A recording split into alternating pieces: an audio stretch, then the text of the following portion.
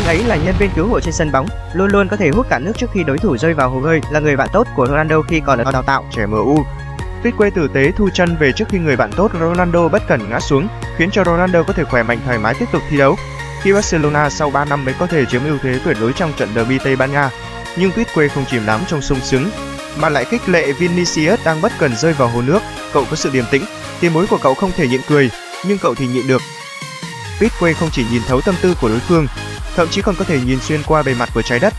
Nghe nói khi Pitque xây dựng khách sạn đã đào lên 250 ngôi mộ cổ, các nhà khảo cổ học cho rằng giá trị di tích văn hóa trong những ngôi mộ cổ là vô giá. Do đó, Pitque sau khi giải nghệ có thể trở thành quản lý của một bảo tàng. Nếu như một tấm vé vào cửa chỉ thu 82 đô la Mỹ, nhất định sẽ có rất nhiều khách du lịch tự nhiên mà đến. Việc Pitque bán đứng Messi đương nhiên khiến người ta cảm thấy đáng ghét, nhưng khi anh ấy thực sự giải nghệ, chắc hẳn nhiều người sẽ tiếc nuối không nỡ. Tải ứng dụng bóng đá TM để cập nhật nhanh nhất thông tin bóng đá và giao lưu cùng các tín đồ đam mê bóng đá nhé.